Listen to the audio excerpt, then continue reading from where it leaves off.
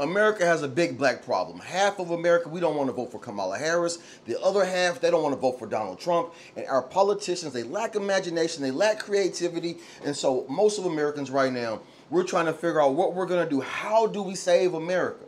Small towns are dying. So many black Americans right now, we're still living in poverty. We don't own anything. In big cities from Chicago to Houston to LA to New York, blacks are stacked on top of blacks, and we're bringing in all these millions of immigrants. Now, what's happening with these millions of immigrants? They're going to rural America because they're trying to revitalize small town America. Now, why not do that for black Americans? That's the question I have for all of America. My biggest question, I had I started to examine this. I have questions. I want to know how can we really make America the most greatest, most powerful nation going forward? How can the people do it? How can American men contribute to the success of America? So I looked at the history of America. You always got to start right in the beginning. And so now, could you imagine if the America's greatest sin, which is slavery, what would have happened if freed slaves were given the property on which they existed? What if the American slaves owned the plantations in which they were slaves? How would America look different? How would how would black America look different? Would we have more money? Would would rural America be prospering right now? And so if that's a great question, what happened to those black Americans who did get free? They had the great migration. They went to big cities because they're they're in search of jobs. And now that all these black people are in these cities and their poverty and the crime is so crazy, we got to address that. And so now what do we do? What do we do? What do we do?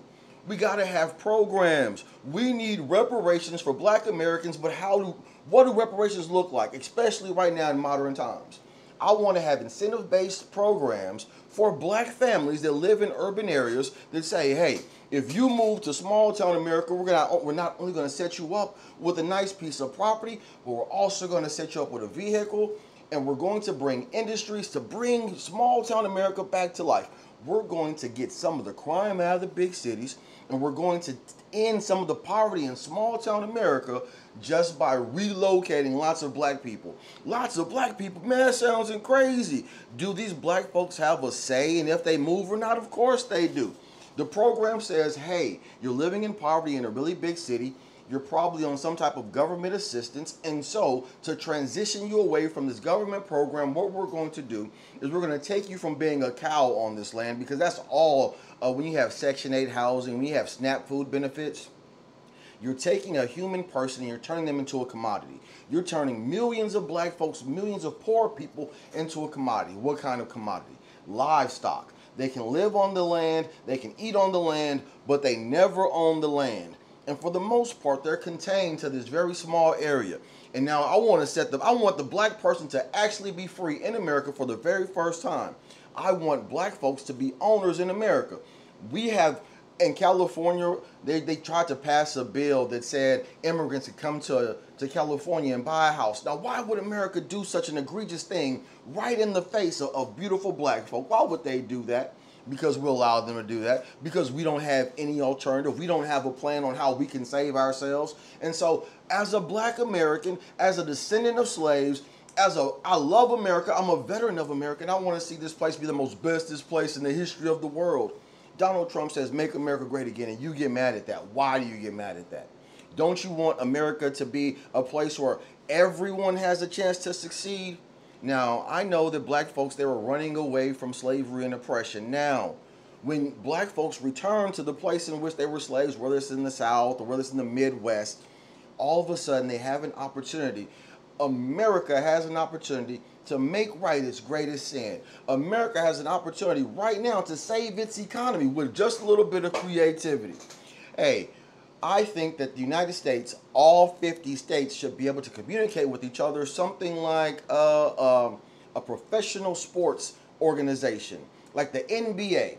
The NBA has 30 plus teams, and all teams, if they need to trade, they do trade, and there's sometimes financial incentives, right?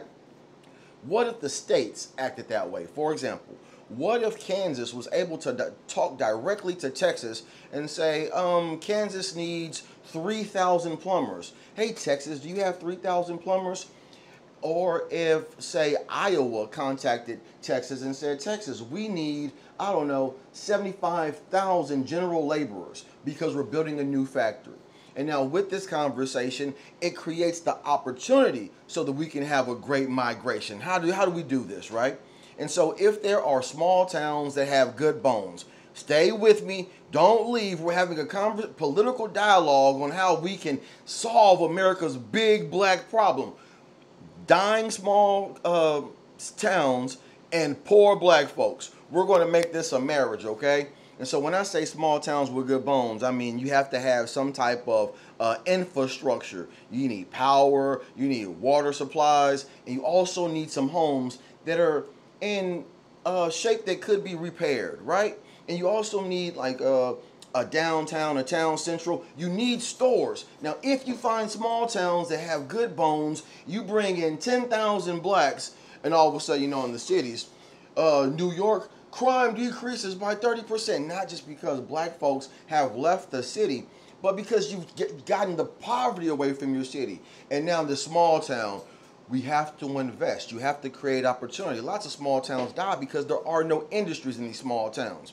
If you bring in 10,000 black folk, all of a sudden, they have to figure something out. They have to, how do we save ourselves? How do we build? How do we become owners in this wonderful town, which is now ours? Dear white person, how do you feel about this plan? This plan too complex? Do you do you think that America should invest in the American black person? If you don't, why are you so angry about descendants of slaves actually wanting to participate in this wonderful economy which we know as America? Now, most white folks in general, they say, I'm against welfare, I'm against welfare.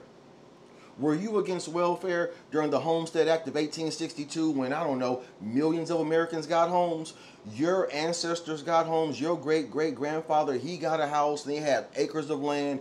And those acres of land are now worth millions of dollars. And this is your inheritance.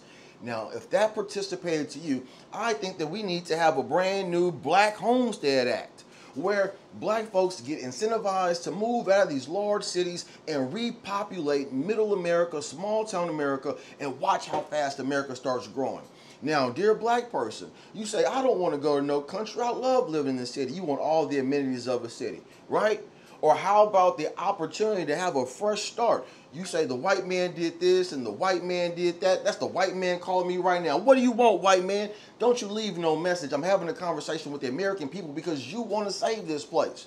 This election is not going to save America. No election is going to save America because no politician has the, the courage or the willpower or the financial backing to invest in the American people unless the American people, unless we come and we say this is what we want.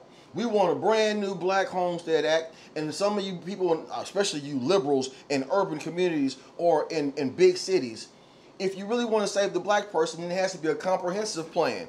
A big business has to talk to big government, and big government has to take their orders from the people. And through a collaborative effort, we can change this whole system. We can make America the most powerful that it's ever been in history by simply having conversations on how we move wonderful folks from overcrowded areas to less densely populated areas. And you watch the creativity of the American black and the American citizens change their poverty and their impoverished situation, lift America to economic heights that we've never seen, because this is how we're going to solve America's big black problem through black ingenuity, through black thinkers, through black men who say, listen, I have to have the opportunity to go build. It's time to be the greatest American alive. Yes, you. Let's save this place. Save yourself.